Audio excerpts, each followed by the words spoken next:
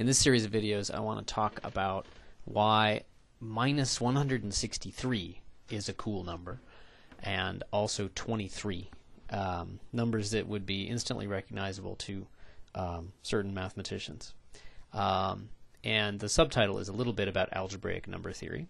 Uh, there's absolutely no claim to originality in this. Um, I uh, attended some lectures by David Pollack of Wesleyan University a few years ago, and I thought that um, his approach to things was very, uh, very good, and so I'm uh, following, roughly following his presentation. Um, he said a lot more than what I'm going to say. So here's the question. It's a very natural question. Which integers can be written as the sum of two squares?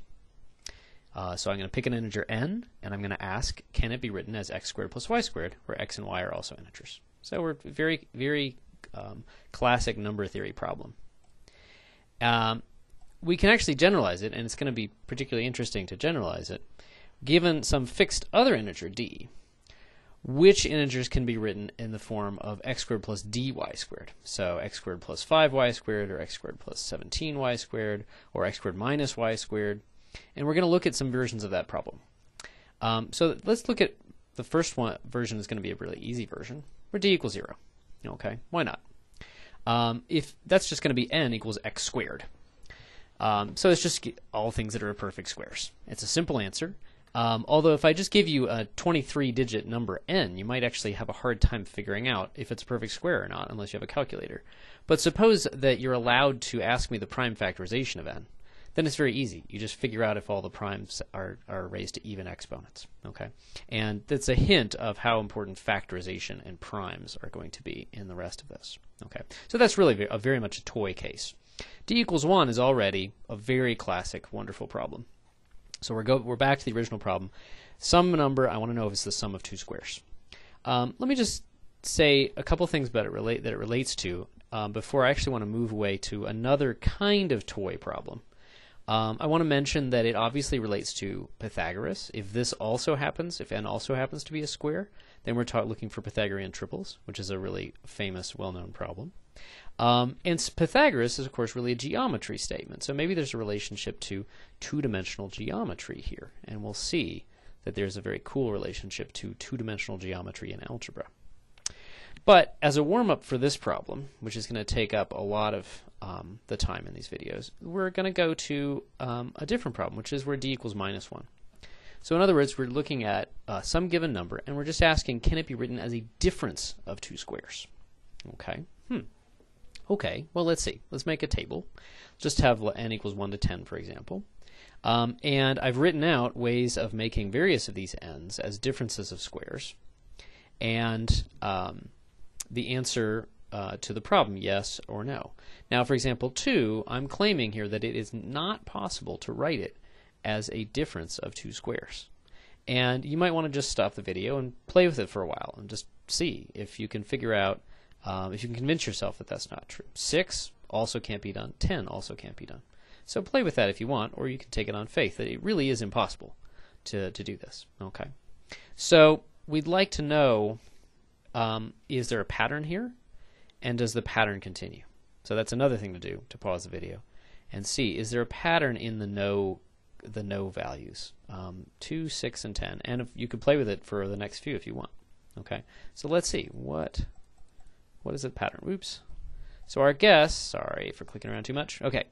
Guess is that it seems to work unless it's a, uh, of the form 4k plus 2 and this is one thing that I'm going to talk a little bit about throughout these videos. I'm going to use a tiny bit of um, the terminology and a tiny bit of the algebra of modular arithmetic.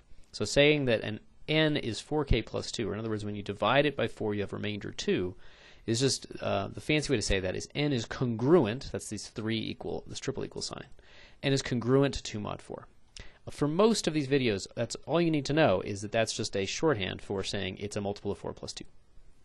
Okay, so let's see. Well, yeah, so 2, 6, 10. Yeah, it does seem to be periodic.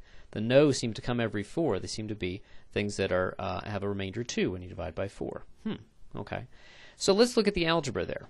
Okay, so we there's really two directions to go in here. There is, um, suppose that we have got a conjecture now. We've got a conjecture that whether you can write it as the difference of two squares is related to whether it's uh, congruent to 2 mod 4. And so you, there's two directions. If it's a difference of two squares, it seems like it's congruent to 2 mod 4. And if it's congruent to 2 mod 4, it seems like it's not, um, sorry, if it's if it isn't a difference of two squares, it seems like it's congruent to 2 mod 4, and vice versa. Okay, it's bidirectional. So here's what we'll do first. Let's suppose that um, n is the difference of two squares. That seems like a pretty nice thing, way to start. Okay, we get some algebra that we can work on. What is that going to imply? Well, here's the the key to almost the, pretty much the the whole lecture, all these uh, video lectures, all this series. It's that if you take a difference of two squares, that it has a famous factorization: x minus y times x plus y. So we're factoring a polynomial, but if that polynomial, if the value of that polynomial is equal to a certain number, that gives us a factorization of that number. So it's it's playing uh, with factorization both in algebra and and arithmetic. So I'm just going to call x minus y a and x plus y b, just like right here. Okay. Well, let's solve those for x and y in terms of a and b. That's pretty easy to do. You just add the two equations together and divide by 2, or subtract the two equations and divide by 2. Okay, pretty easy algebra. The easiest system of equations, pretty much. Okay, so, but let's look at that. That over 2 actually turns out to be very interesting. Okay, x and y are supposed to come out to be integers. Okay, so we've got this nice factorization, x minus y, x plus y. Um, that's actually saying something rather special about n, that it can be factored in that way as a difference of two numbers and the sum of those same numbers. Because if we solve for those mystery numbers x and y, we discover that um, b plus a, we couldn't pick those to be anything. They have to be either both even or both odd, because otherwise dividing by 2 will give you an odd number If they're both even, certainly b plus a is even. If they're both odd, then b plus a is even. Similarly with b minus a. We can say that in modular arithmetic too, in terms of, but in terms of mod 2. It has to be that a and b are congruent mod 2. So what does that say? Okay, it says that we must be able to factor n into two numbers, a and b, that are either both even or both odd. That is restrictive. That does not work for any n. Because let's see what happens. If they're both even, it's going to be a multiple of 4 because you're going to get a factor of 2 from the b and from the a. If they're both odd, then clearly n is an odd number. Okay. What does that exclude? Boom. It excludes exactly 4k plus 2 because the odd numbers are 4k plus 1 and 4k plus 3. Multiple of 4 is 4k plus 0 and look what's left out.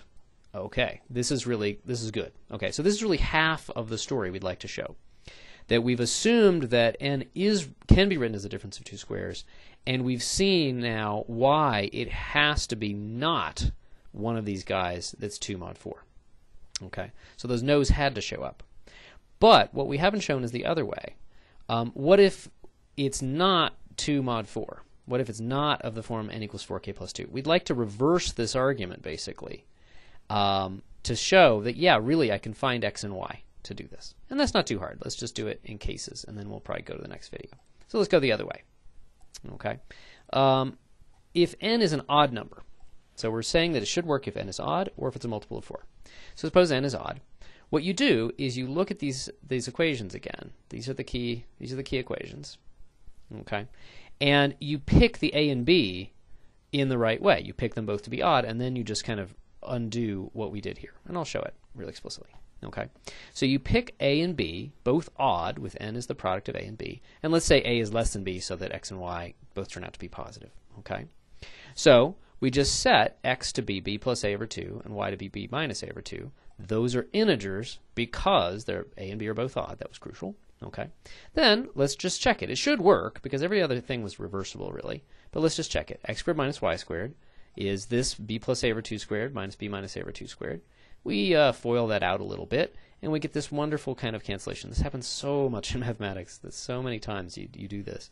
Um, b squareds cancel, the a squareds cancel, but what doesn't cancel is 2ab plus, because it's 2 minus is 2ab, that's 4ab over 4 equals ab, and the whole point was we picked ab to be a factorization of n.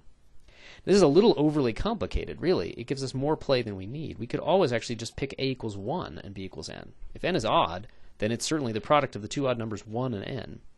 And um, that's really nice because it says take x equals n plus 1 over 2, y equals n minus 1 over 2. If you look at it, these are actually consecutive numbers. They differ by 1 half plus a half, which is 1. you're just taking consecutive numbers that are as near to this odd number n divided by 2 as possible.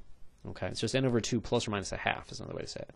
They're the consecutive numbers that lie right around n over 2. And then, just redoing this calculation in a slightly simpler form, x squared minus y squared, you get a fourth, and then n squared plus 2n minus 1 minus n squared minus 2n plus 1. Lots of it cancels, and you just get n. This is really a very, very complicated way to say something that every, hopefully, um, you're teaching to your elementary school children. I think that it's sort of somewhere in the curriculum, but it's really not emphasized. Is that the differences of consecutive squares are exactly all the odd numbers. To create the squares, you just add consecutive odd numbers. That's another way to say it. 1, 1 plus 3 is 4, 4 plus 5 is 9, then add 7 to get 16, then add 9 to get 25. Okay? So, um, we're just saying that any odd number, sure, you can create as a difference of squares. In fact, difference of consecutive squares, if you like. Okay. Um, the other case isn't much different. If 4 divides n, then you pick a and b both to be even, to, to a factorization of n where both are even, so you share at least uh, two of the 2's that divide n. There might be more. Make sure that a is less than b, just to make sure everything's positive. Set x as b plus a over 2, y is b minus a over 2 again. Um, and it all works. For example, if you say a equals 2 and b equals n over 2, um, that's fine because since n is divisible by 4, b will still be even, which is crucial for all this stuff. If you look at this and you just do a tiny bit of arithmetic, you get x equals n over 4 plus 1 and y equals n over 4 minus 1. The over 4 is legal because 4 divides n in this assumption. These guys are 2 apart, okay? And then you just take the difference of two squares, which are not consecutive, but are just there's skip one in the middle. Okay, and this calculation you can just look at it if you want, but it's just saying that if you take the difference of one square with the square that's two previous in the sequence of squares, that's a way to get every possible multiple of four. It's a little bit of an extension of the fact that the consecutive squares give you uh, difference of consecutive squares give you all the odd numbers. Okay, so let me make a couple of notes, uh, three notes about this before we go to the next video. Let's just call n good if n is the difference of squares. And in general, it's going to be if n is x squared plus dy squared, whatever the d is that I'm particularly thinking about at the time. Okay. Um, one thing that's notable is that if m and n are good numbers, then it's not hard to see that m times n is also good. Uh, here it's probably easiest just to check the cases. We'll see an algebraic argument for that in the sum of squares case. Okay. Um, but that we can have two bad numbers whose product is good. So if you look back at the table, 2, or if you just think of the mod 4 result, 2 and 10 both have remainder 2 when you divide by 4, so they cannot be expressed as difference of squares, but their product is 20, um, and that is divisible by 4, of course, and so it, it can be expressed. So um, this is going to be something that's going to come back a lot, that if you have two ingredients that are good, their product is good, so that's going to suggest that maybe we should start, first start looking by prime numbers. And we're going to look at prime numbers a lot for this kind of thing. The other thing to note is that the pattern of the good ends is periodic. Here it has period 4. That's going to be very interesting to look for in other cases. Will it happen always? Let's see. And then the other thing is the key was factoring, but it's really two kinds of factoring. The difference of squares factoring for a polynomial, and then the fact that that told us that a number had to factor in a certain way. So it's going to be all about factoring.